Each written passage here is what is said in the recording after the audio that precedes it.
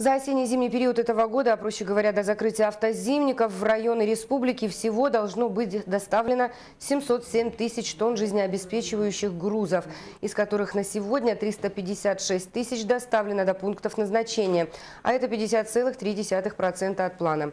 Вопросы обеспечения арктических районов необходимыми ресурсами в период зимних перевозок, проблемами с ними связанных и о подготовке противопаводковых мероприятий говорили сегодня в Алтумене.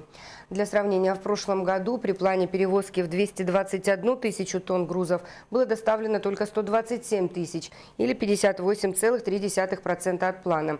Основной причиной отставания от графика тогда стала аномально теплая погода и обильные снегопады. Основных вопросов для арктических и северных районов является обеспечение нефтепродуктами.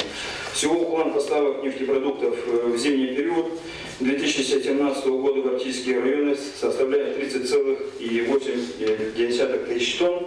Фактически заведено 12,9. Исполнение плана 42,1. В 2015 году начали обеспечение населения труднодоступных и отдаленных населенных пунктов тарированными нефтепродуктами. В зимний период 2015 и 2016 1611 тонн тарированных нефтепродуктов,